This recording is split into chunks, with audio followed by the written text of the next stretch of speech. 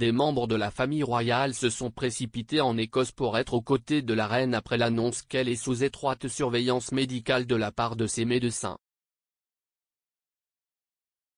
Le palais de Buckingham a déclaré que les médecins s'inquiétaient de la santé du plus ancien monarque régnant de Grande-Bretagne, car l'homme de 96 ans reste sous surveillance médicale. Des membres de la famille royale, dont le prince Charles et son épouse Camilla, le duc de Cambridge, le prince Andrew, la princesse Anne et le comte et la comtesse de Wessex, se sont rendus à la résidence Queen's Balmoral pour être à ses côtés.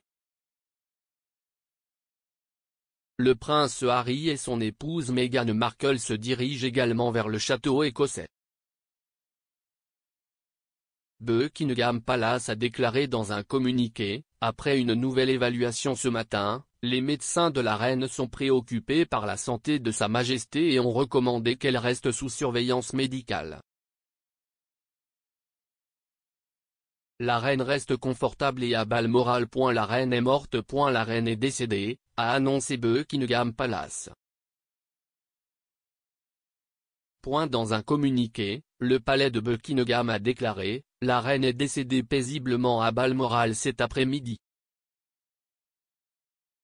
Le roi et la reine consort resteront à Balmoral ce soir et reviendront à Londres demain.